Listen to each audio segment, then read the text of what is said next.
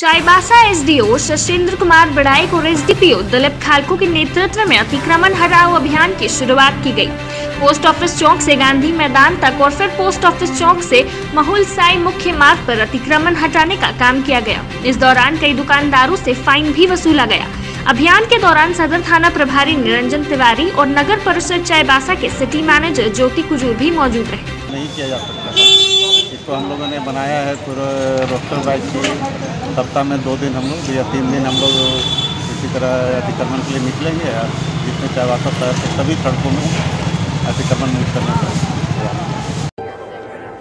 Every welcome you've never known. Welcome to a journey you've never imagined.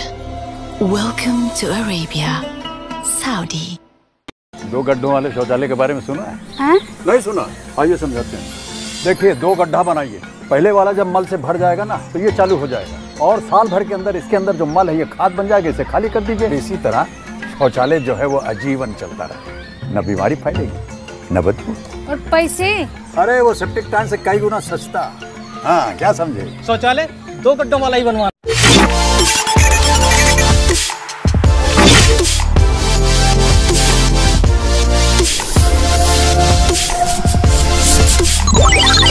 Peace.